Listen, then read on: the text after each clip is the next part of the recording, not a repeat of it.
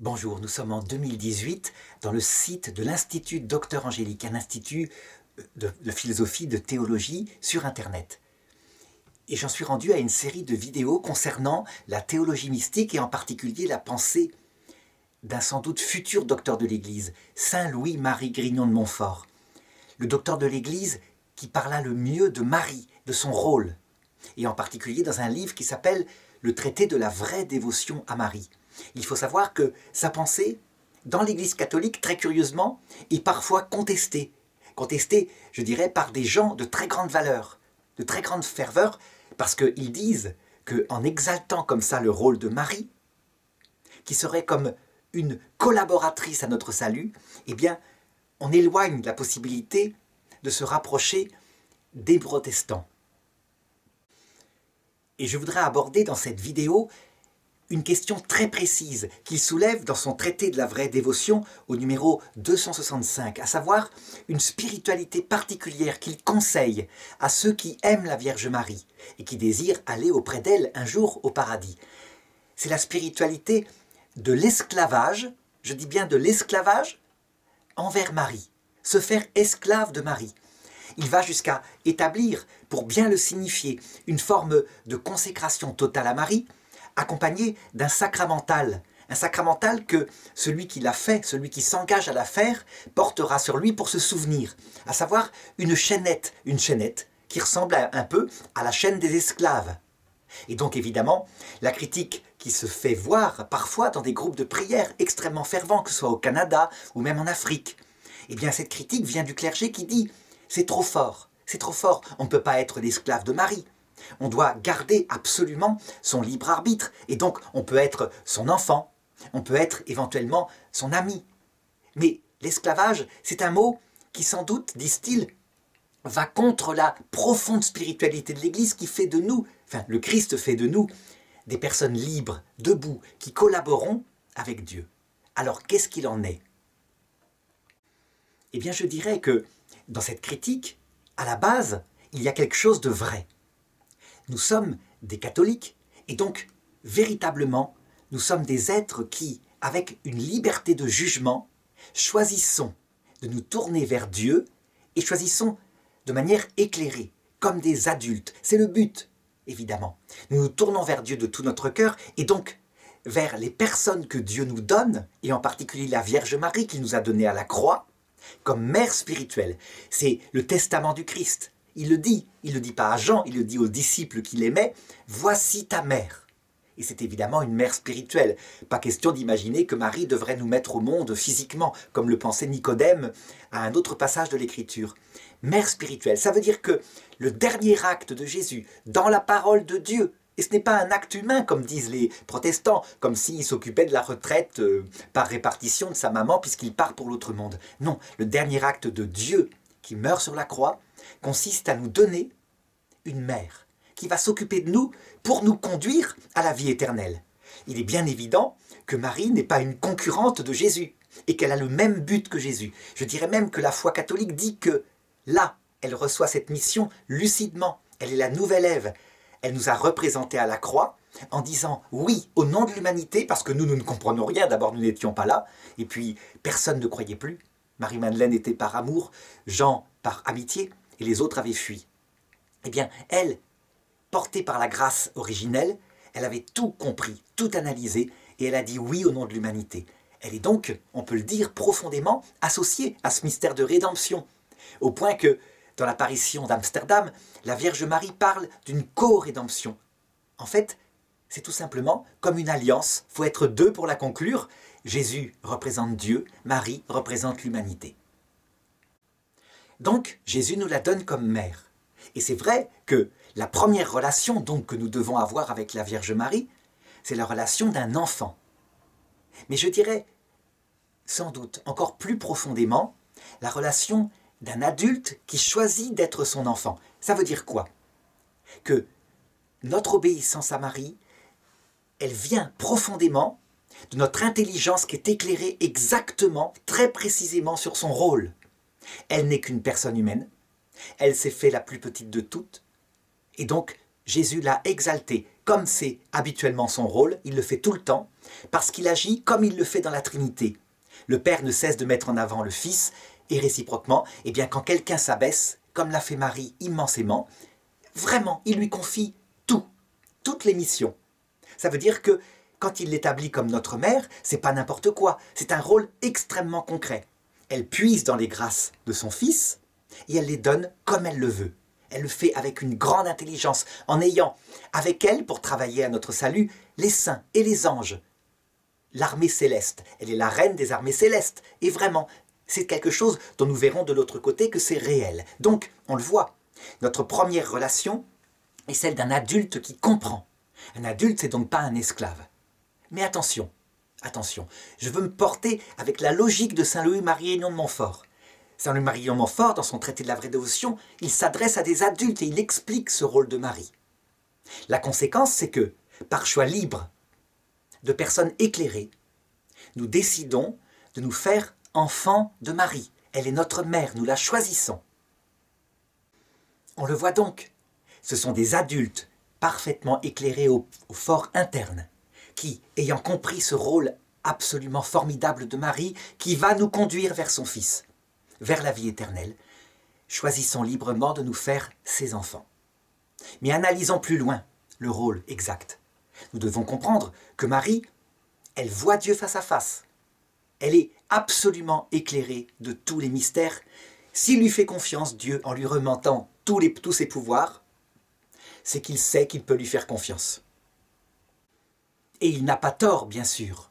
Pourquoi? Parce que Marie, elle l'a vécu, elle le sait dans son âme, elle l'a vécu à la croix en ayant le cœur transpercé par un glaive de douleur, et ensuite le reste de sa vie avant son ascension, en vivant de l'Eucharistie, qui est un grand mystère de douleur, puisque ce n'est pas la présence palpable, c'est la présence réelle mais cachée. Or, Marie, elle est faite comme nous, pour la présence réelle, visible, évidemment. Eh bien, Marie qui est passée par là, elle sait parfaitement pourquoi Jésus ne peut pas empêcher un certain passage par la souffrance, par ce qu'on appelle en théologie mystique des nuits de l'esprit. Ça veut dire des moments où parfois peut-être même on peut aller jusqu'à ne plus rien comprendre, le but n'étant pas cette nuit de l'esprit, le but étant que pour voir Dieu, c'est le but de tout, il faut mourir à soi-même. Ça n'est pas possible autrement. Et donc, que Dieu ne peut pas changer ça. Jésus a prié à son agonie, Père, s'il est possible, que cette coupe s'éloigne de moi, mais pas ma volonté, ta volonté. Ce n'est pas possible. Pourquoi? Parce que voir ce Dieu infini, dont les relations trinitaires sont d'humilité totale, ne peut pas arriver à un être humain qui n'a pas compris sa propre misère, sa propre pauvreté. On arriverait avec nos petites fiertés, on ne supporterait pas la vision béatifique. Nul ne peut voir Dieu sans mourir. C'est la clé de la théologie, et en particulier du chemin de purgatoire où nous sommes actuellement sur la terre. Marie l'a parfaitement compris, parfaitement compris. Et donc son rôle précis sur nous, délégué par le Père, le Fils et le Saint-Esprit, et parce qu'elle est passée par la vie terrestre, consiste à nous faire passer par ce chemin pour que notre cœur devienne à la fin tout humble, tout amour, mais de manière maternelle, ça veut dire pas trop violent. Pour bien montrer à quel point c'est quelque chose de précis dans la théologie catholique. Un grand théologien, docteur de l'Église, Saint Pierre Canisius, écrit dans son traité de la Vierge Marie, il écrit ceci un homme raconta un jour qu'il vit en rêve deux échelles qui montaient vers le ciel. Il y avait une première échelle qui était rouge sang. C'est une échelle qui allait vers le ciel et qui était posée sur la terre, et des hommes héroïques s'en emparaient. Seulement, ses bords étaient tranchants, ses supports, ses montants pour mettre ses pieds aussi. Et ces hommes se blessaient de tous les côtés. C'est une échelle extrêmement dure. C'est l'échelle qu'a vécu Jésus à la croix. Souvent, il tombait de l'échelle, se décourageant sous la souffrance et sous l'effort. Et puis, évidemment, les anges les relevaient, et il finissait par arriver au ciel, mais dans de grandes souffrances, qui ressemblent un peu à celles qu'a vécu Jésus lorsque des clous de fer ont été plantés dans ses mains. Le but était donc la kénose, c'est-à-dire la totale humilité, et ça marchait. Cette échelle-là, par exemple, eh bien, quelqu'un comme euh, Sainte Félicité, qui fut martyrisée en 203 après Jésus-Christ, l'avait vue aussi en rêve, et c'est cette même échelle qu'avait vue sans doute Jacob, qui montait vers le ciel et qui lui avait fait trembler de crainte de Dieu en se disant ce lieu est un lieu sacré, la terre, parce que c'est le premier barreau d'une échelle qui mène au ciel. Et puis voilà que Saint Pierre Canisius raconte que cet homme, ce moine, vit une deuxième échelle qui montait vers le ciel, une échelle blanche. C'était l'échelle de Marie avec l'échelle de Jésus. Il n'y avait pas de concurrence entre les deux, elles étaient ensemble. Et des hommes prenaient cette échelle, modestement. Ces barreaux étaient doux, il n'y avait pas de bord tranchant. Des anges étaient là, envoyés par Marie, qui les accompagnaient, et ils montaient, et ils montaient. Et ils arrivaient au terme avec cette même kénose, cette même brisure du cœur à cause de l'épreuve, mais ils n'étaient pas tombés en général. Ils y arrivaient par la croix qu'apportait maternellement Marie. Et des épreuves, elle leur en envoyait, comme il le fallait, puisqu'il fallait bien connaître un moment de désespoir, mais des épreuves adaptées.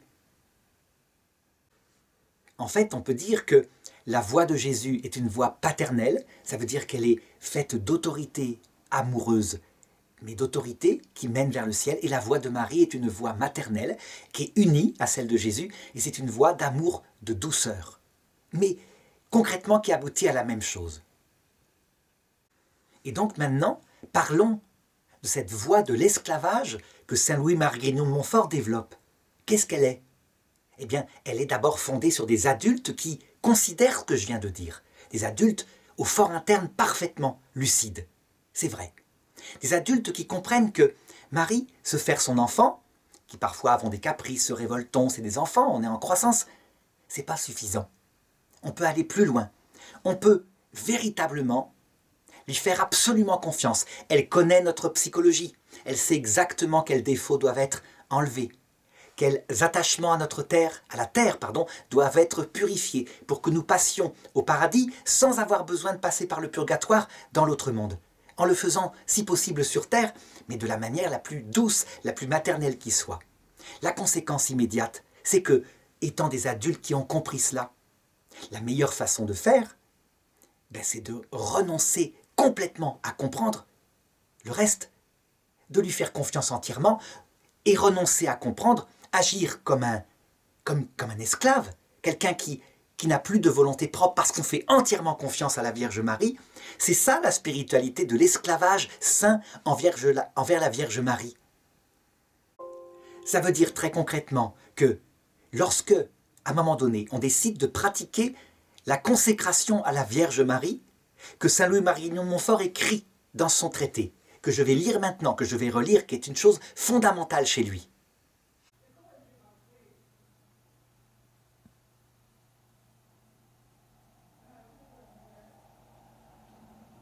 J'en avais parlé dans la précédente vidéo concernant Saint Louis Marie Grignon de Montfort. Je vous choisis aujourd'hui ô Marie, en présence de toute la cour céleste, donc en sachant qu'elle n'est pas seule, qu'elle a une armée avec elle pour notre salut. Je vous choisis pour ma mère. Là, c'est une relation filiale. Ma reine, ma reine, c'est une relation de sujet, déjà, c'est plus profond. Mais ça va plus loin. Je vous livre et consacre en toute soumission et amour. La soumission. Là, voilà, cette spiritualité d'une confiance absolue, totale, qui va jusqu'à, pour l'exprimer, c'est pas le sujet, c'est pas suffisant. L'esclave, l'esclave qui fait absolument confiance, qui n'a plus de volonté propre. Évidemment, il y a une volonté propre puisque c'est un choix d'adulte qui se fait esclave de la Vierge Marie. Donc en toute soumission et amour. Et ensuite, il détaille, il détaille mon corps et mon âme, mes biens intérieurs et extérieurs, la valeur même de mes bonnes actions, passées, présentes, futures, vous laissant un entier et plein droit de disposer de moi de tout ce qui m'appartient, sans exception, selon votre bon plaisir, à la plus grande gloire de Dieu dans le temps et l'éternité. Je me rappelle, quand j'avais 14 ans, juste après avoir découvert l'existence de Dieu par la Vierge Marie à l'église Notre-Dame des Miracles à Rennes, j'ai prononcé cette consécration à Marie. Je l'ai prononcée donc il y a 40 ans, puisque j'ai 54 ans maintenant. Je l'ai prononcée avec toute la ferveur d'un premier amour qui ne comprend rien, évidemment, sans savoir à quoi je m'engageais. Eh bien, 40 ans plus tard, je peux dire Qu'est-ce que j'ai bien fait? Qu'est-ce que j'ai bien fait? Cette voix de Marie, j'ai bien fait de prononcer ces paroles que je ne comprenais pas en me faisant esclave de Marie. Finalement, c'est ça. Est-ce qu'on ferait ça à un autre être humain? Tout, sans exception, on le consacre. Pourquoi? Qu'est-ce qui s'est passé dans ma vie? Ben, Je l'ai vu. C'est l'échelle de Marie. Ça veut dire que j'étais comme tout le monde. Quand je suis arrivé étant chrétien, je pensais que j'aurais euh, euh, un destin grandiose au service de Dieu et de l'Église, avec une vocation éventuellement. La Vierge Marie m'a pris en main pour que, épreuve par épreuve, petit à petit, elle me montre à quel point j'étais imbu de moi-même, orgueilleux, mais doucement. Elle aurait pu me faire mordre la poussière. Pourquoi pas, je le méritais. Je faisais des bêtises, je tombais dans une bêtise, je mordais la poussière publiquement. Ben non, ça s'est fait toujours avec délicatesse, comme il le fallait. Il y a eu certes des grandes épreuves, mais à chaque fois préparées. Je donne un exemple. Vous savez peut-être ce qui m'est arrivé récemment avec la perte de mon travail due à une persécution, on peut le dire comme ça, une persécution d'église dans l'église belge qui est une église euh, qui a des problèmes, on peut le dire comme ça. Eh bien, si ça m'était arrivé brutalement à 50 ans sans préparation du tout, et avec une violence comme celle qu'a connue par exemple le père Pierre-Yves Fumery, qui lui, d'un coup, un prêtre formidable d'Orléans, est déshonoré par une dénonciation. Personne ne le défend. Euh, les autorités du lieu estiment même qu'il faut faire la vérité en parlant. L'enquête de police n'aboutit à rien, il n'a rien fait de mal. Mais il est tellement déshonoré, tellement dans la détresse qu'il se suicide. C'est la croix, là, avec l'échelle, l'échelle rouge. Et il a appris de cette souffrance. La même chose. Ben moi, pas du tout. Ça n'a pas été comme ça. J'ai été préparé. Premièrement, je me rappelle quand j'avais 24 ans, j'ai eu un premier conflit avec un prêtre. Et ce prêtre, on s'est réconcilié. Mais il m'a appris énormément. Il se comportait pas bien avec moi, il était très dur, etc. Mais ça m'a préparé. Ensuite de ça, il y a un autre prêtre, un peu plus tard, qui sur Internet a falsifié cette de mes vidéos au début, je me suis défendu. Mon honneur était important. Et je me suis rendu compte que ça servait à rien. Quelqu'un me l'avait dit d'ailleurs, m'a écrit, c'est pas la peine de se défendre. Et je me suis plus défendu. Et ce prêtre-là, je suis reconnaissant, ça m'a préparé. Quand est arrivée l'épreuve en question, l'épreuve qui sans doute était nécessaire pour continuer, que je progresse dans l'humilité, eh bien, j'étais préparé, elle n'était pas trop violente, je n'ai jamais été déshonoré, juste persécuté, mais c'est tout de même dur. On perd son travail à 50 ans, on a une famille, etc. C'est la voix de la Vierge Marie. Elle façonne peu à peu les choses. Alors on pourrait dire, mais non, euh, c'est formidable, mais il se vante. Pas du tout. Le progrès, je le vois, il n'est pas terminé, je le sais très bien. Quand le premier prêtre m'a persécuté, j'avais dans ma tête des pensées perpétuelles de vengeance. Comment Comment le déshonorer par rapport à ce qu'il me faisait? Quand c'est arrivé cette deuxième épreuve, cette épreuve-là, je n'ai plus que des pensées de justice. Faire la vérité pour ne pas qu'il recommence, c'est un progrès. C'est pas suffisant.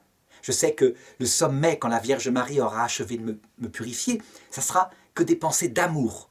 D'amour pour qu'ils soient sauvés et de les aider à sortir un jour de leurs propres épreuves. Voilà.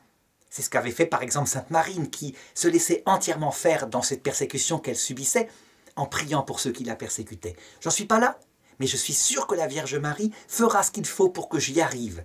C'est ça l'échelle de Marie.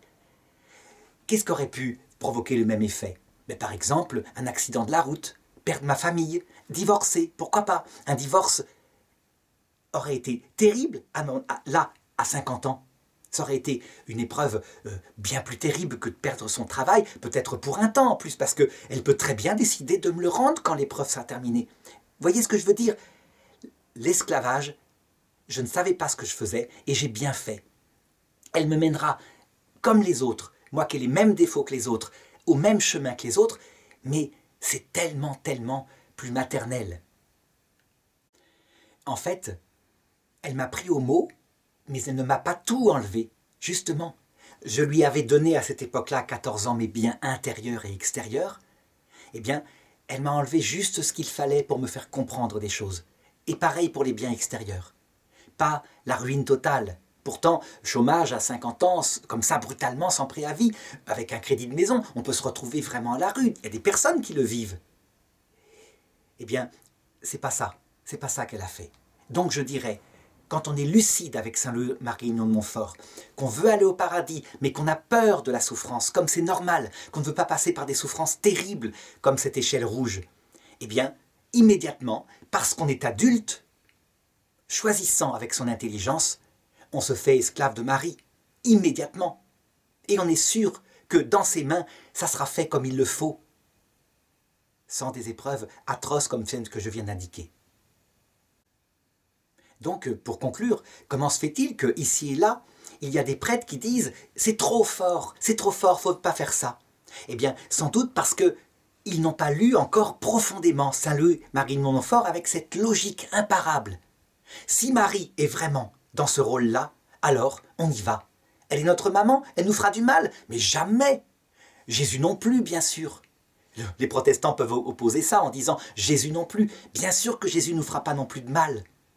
Mais s'il veut, s'il préfère que nous passions par la voie maternelle de Marie, qui est la voie de la compassion et non pas de la passion, Marie n'a pas été crucifiée avec des clous de fer. S'il préfère ça, pourquoi est-ce qu'on n'écouterait pas Jésus? En se faisant esclave de Jésus, puisqu'il nous demande de nous faire esclaves de Marie Voilà, c'est ça que ça veut dire.